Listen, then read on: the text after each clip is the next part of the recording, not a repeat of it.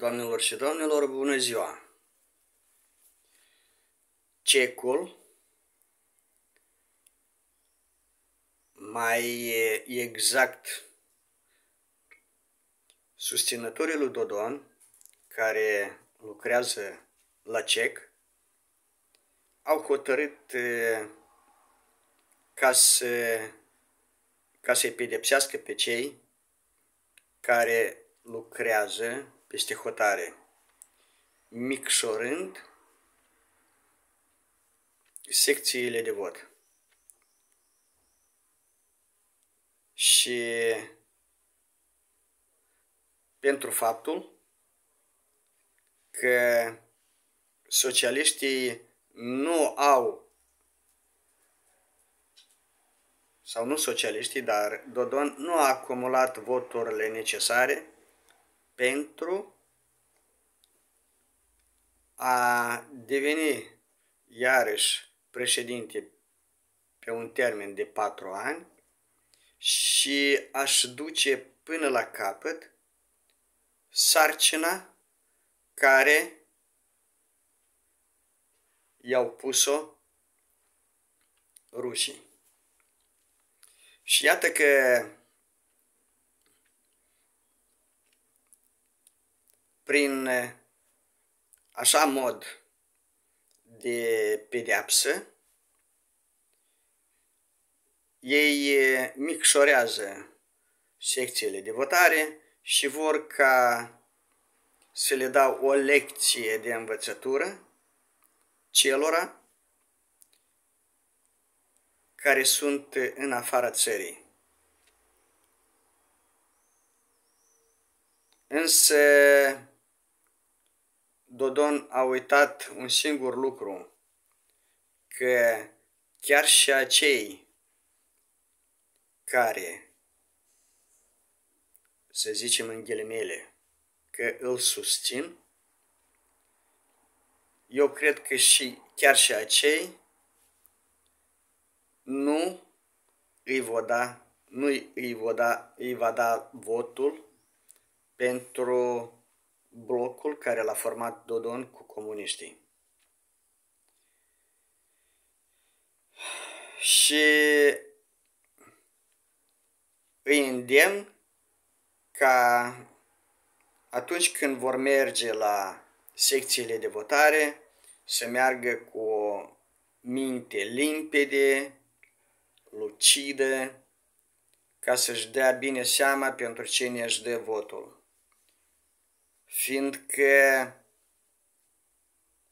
din anii 90 am mers și eu la vot și mi-am dat și eu votul meu pentru atunci, pentru Iurie Roșca, iar când am văzut că și el a format o coaliție cu comuniștii și și-a trădat alegătorii, iată de atunci stau pe o balanță și totuși nu pot să mă apreciez pentru cine să-mi dau votul. Poate că din cauza că am fost trădat, poate că din cauza că nu mai cred în promisiuni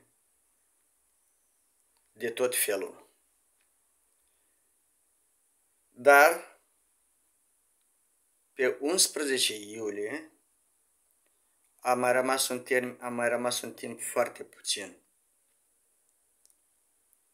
Pe 11 am să merg și eu la vot. Și o să-mi dau și eu votul.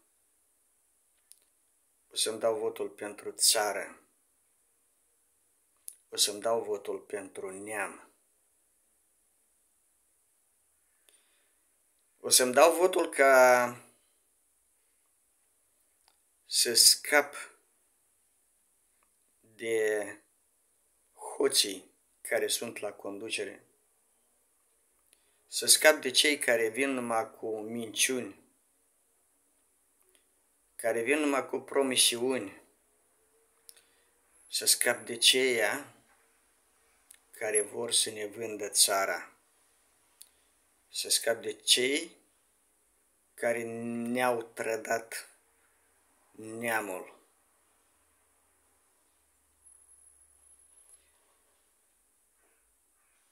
Doamnelor și domnilor, atât am vrut să vă spun.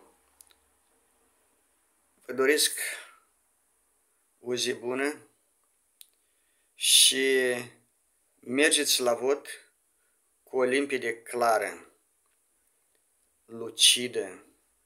Nu vă uitați la tot ceea ce vă spune Dodon, că va investi în cea lungă sume enorme de bani. Acestea sunt numai promisiuni și acestea sunt numai vorbe goale care nu vor fi implicate niciodată. Aveți grijă de voi. Sănătate!